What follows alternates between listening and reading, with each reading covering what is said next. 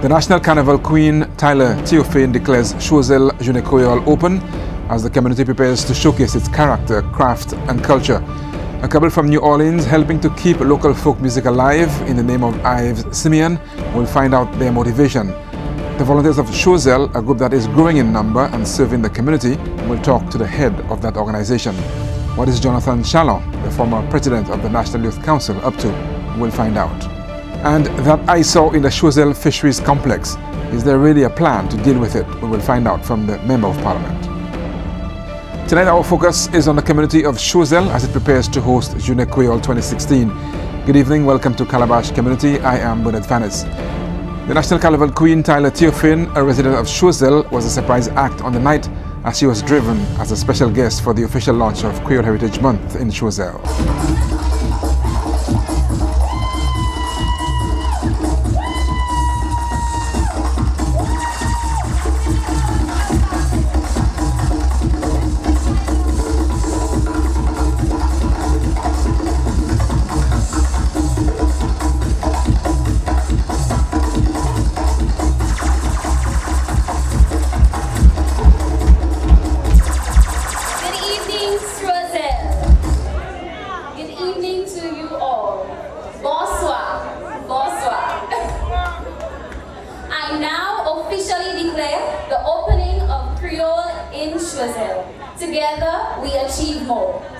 Make this big and unforgettable. Thank you. Vlo dou bouti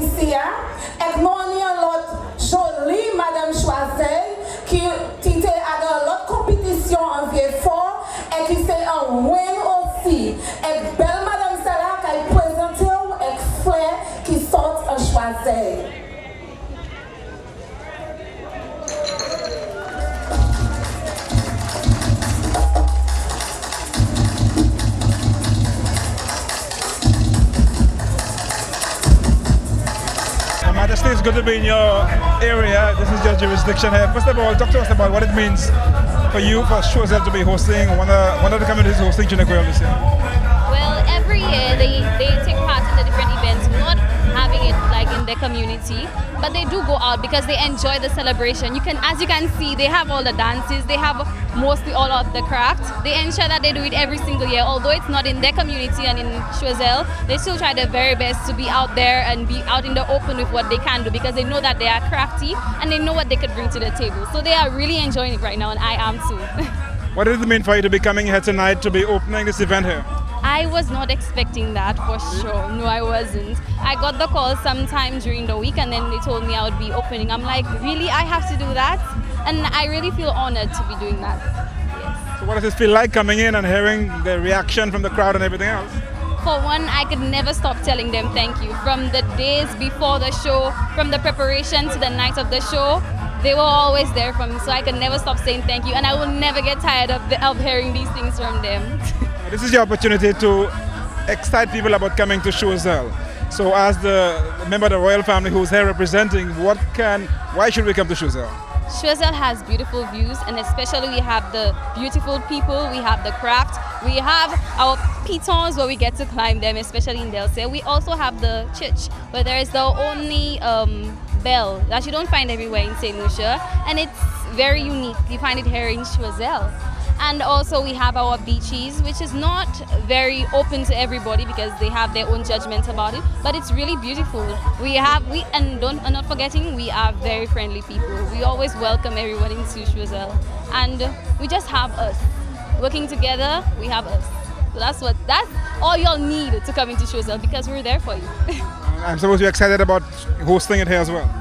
Yes, I'm very excited. I was very excited when I found out because they have been anticipating it, like they were waiting for it for a very long time, and for that to happen for them, that's one of the best experiences they could ever have. Uh, we appreciate your time. Thanks a lot and wish you all the best as well. Thank you. Prior to the start of the event, we chatted with a few people, among them the Member of Parliament for Choiseul, Bradley Felix. Mr. Member of Parliament, it's certainly good to see you here in uh. Let me just flash back a little. I'm sure 16 years ago you remember what was happening here in terms of Jounen Kwéyòl when it was last hosted here. Do you have any memories of that uh, Jounen Kwéyòl?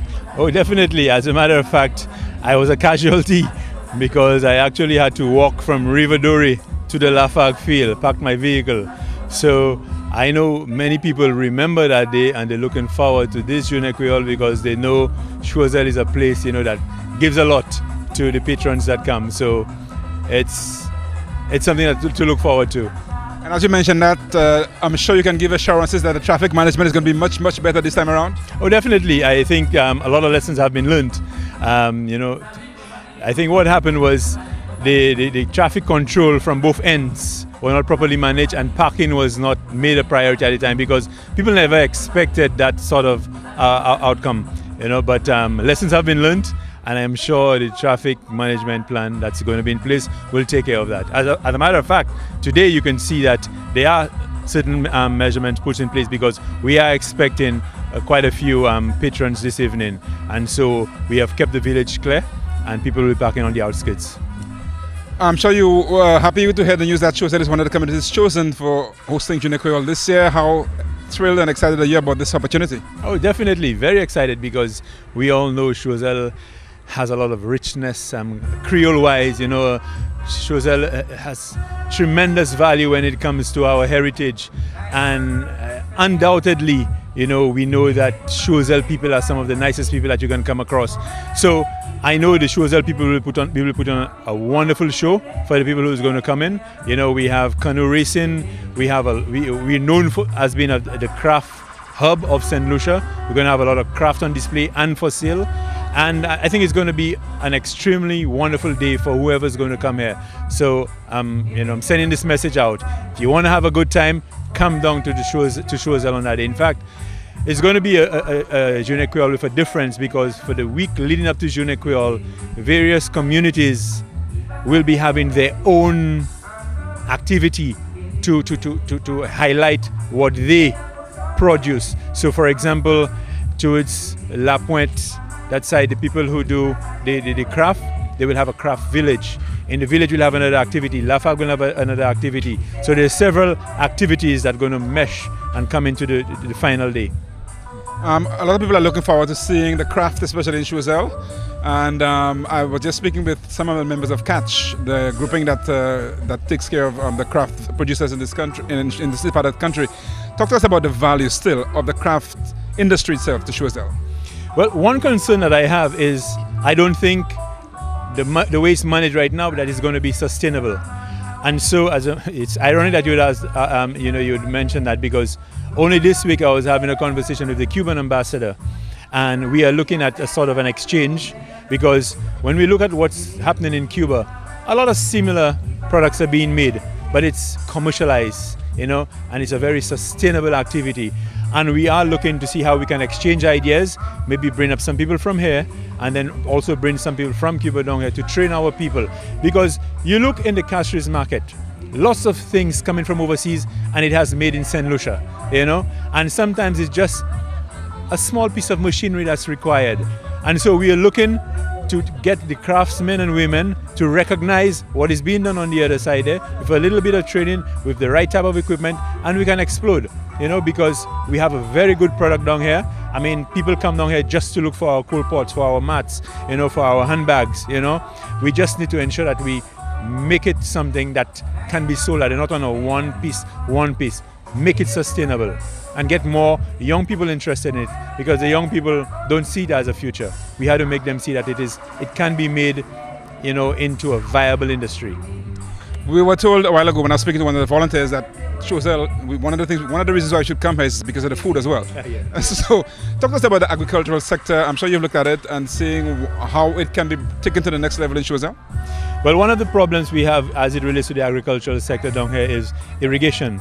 Irrigation is an issue because Choiseul is known to be a very, very dry area, you know, and there was a, a very good um, uh, project which was started in the Delcer area um, with some assistance from um, uh, friendly government, and um, the intention was that that irrigation would reach as far as Balembouche. Okay, so that in itself is, will really boost, you know, what the farmers can produce.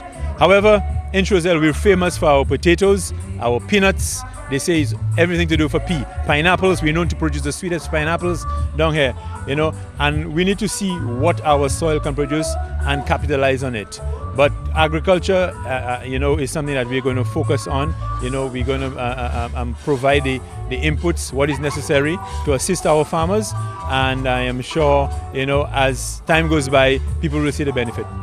Still on the theme of agriculture, fishing is one of the things that you're known for as well. Um, we want to delete the positives first about the fishing sector, and then we'll get to yeah. this next door to us here. yes, yes, yes.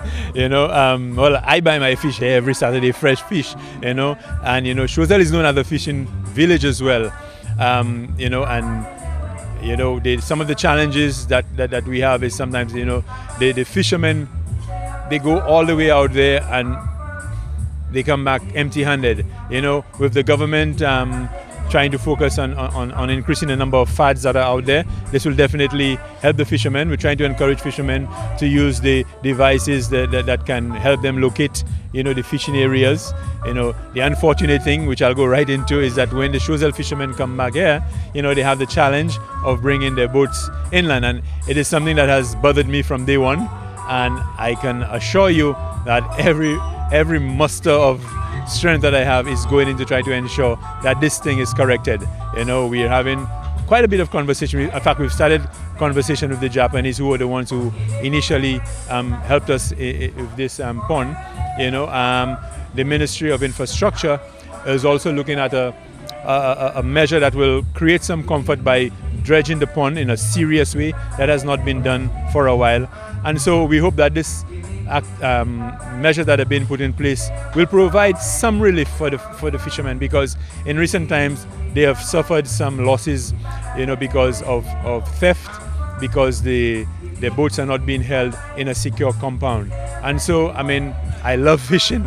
Um, my, my, my father devoted his entire life, his entire life to the fishing industry, and so I try to ensure that the fishermen have a safe environment, and you know to help them, you know, in, in, in reaping the benefits. Choiseul is known as the craft capital of St. Lucia. Nowhere else is the industry more active, although of late not much has been happening. We spoke with Jean Cooper, known for producing the best craft mats in St. Lucia. My name is Jean Cooper. I'm from the community of Cafe Choiseul. I represent Catch but I operate at home. I do my craft work at home. We spoke with you a long time ago. Yeah. Uh, in Choiseul. Um, since then, how? That's right. Since then, how are things been going? Um, it's a kind of way ups and down. sometimes you get it good. Sometimes we stay a long time, about three, four months before getting something. But otherwise, when as the Christmas season coming, I hope I'll get something. So you haven't given up, you still keep doing some of the straw work and so? Same thing as usual. No, we saw, we're getting ready for Creole. Choiseul is hosting it again. Uh, um, for many years they haven't hosted it. How excited are you about Choiseul hosting this time around? I'm very excited. I wish and I am hoping that we might have uh, something, a little something better. Because now we are going into the dye straw, we are dyeing the straw to make different colors, use different colors with the natural ones. So I hope there'll be something for us. So that's some of the new things you've done. Give me an idea of some of the things since we last spoke, some of the new things you've been doing. I've been doing the fish mats. Any sample I get. So um, I make the drawings and then I do the things I want. The baskets, the fish mat. I've done the pineapple many other things, the birds, things like that. So which would would you say um, are the more popular ones? The fish mat. The fish mat goes very fast. And the square rugs with the square pieces, mm. we join them together so it goes very fast. So how have people been responding to the dyes? Some like it, but some like the na natural ones. And you can still get uh, material in the area for you to do your, your straw yeah. work? But the the dye is very expensive now. Got a little bottle of dye for $20. Before you'd get it for about $15, $16, but now it's $20. So we are still using it, but not a, a big quantity of it. We, we use the more, more of the natural ones. Now you mentioned Catch to me. How active is Catch? What's been happening with Catch? The members are not turning out for meetings.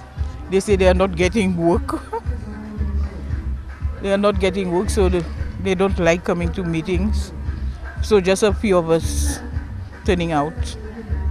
As you can see, but it's only how many of us are there? I think it's about six of us. Maybe some will, some others will come in later. So are there new people getting into it, or it's just basically the same Yes, group? I've got a few because I done a training in January and February, and I had ten young people training, and they want to go. In the ten, I got only six that are interested. That's, that's still good. Now, I know um, there is a plan to bring in some hotels into Choiseul area. Um, how hopeful are you that this is going to help? I hope it will help, but I don't know if I'll have time to see that. if I live to see that, in fact, because we are always promising, promising, and we we're not getting the things they promise. Well, we remain hopeful and uh, we would like to wish you all the best for Jounen Kwéyòl. At least that's coming up pretty shortly in October, so we wish you all the best for that as well. Uh, thank you. This is Calabash Community. We will return to Choiseul shortly. Please stay tuned.